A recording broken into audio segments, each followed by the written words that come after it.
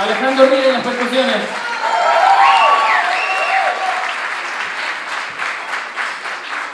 Jorge Rocha en el contrabajo y el bajo. César Milka en la batería.